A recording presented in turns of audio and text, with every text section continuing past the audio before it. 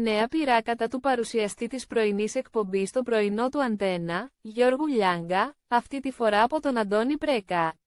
Ο ίδιος, μίλησε στην εκπομπή Χαμογέλα και πάλι του Μέγκα, και μεταξύ άλλων, μίλησε για τους παρουσιαστές των τηλεοπτικών εκπομπών αλλά και έκανε κάποια σχόλια καρφιά για τον παρουσιαστή, αλλά και για τον τα σχόλια καρφιά του Αντώνη Πρέκα κατά του Γιώργου Λιάγκα.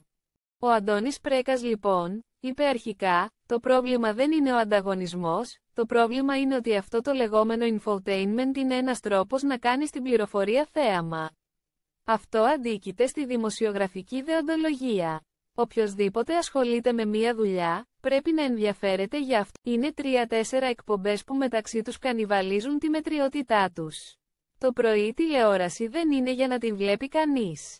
Πιστεύω ότι το μοντέλο θα αλλάξει, υπάρχει και πιθανότητα να δούμε να εξαφανίζονται πρόσωπα από την τηλεόραση που δεν μπορεί να πάει το μυαλό μας ότι έτσι μπορεί να γίνει. Το δεύτερο μισό της σεζόν θα υπάρξουν. Το Buongiorno είναι μια έξυπνη πρόταση που έκανε το Μέγκα και ως προς την ώρα. Πάρα πολύ έξυπνο το να βάλει τον Ανδρέα Μικρούτσικο με τον τρόπο που τον έχει βάλει και τον έχει αξιοποιήσει, γιατί είναι η εκπομπή με τον Ανδρέα Μικρούτσικο. Ο Μικρούτσικος είναι ένα τηλεοπτικό φαινόμενο διαχρονικά και μάλιστα κάποια στιγμή ο τρόπος με τον οποίο και ο ίδιος χειρίστηκε τα πράγματα αλλά και οι συμπεριφορές των άλλων, οι κακές συμβουλές, του κόστισαν.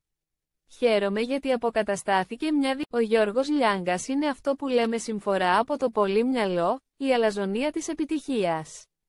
Οι άνθρωποι και όλα τα πράγματα γίνονται αυτοκαταστροφικά από τη στιγμή που νομίζεις ότι είσαι άτρωτος.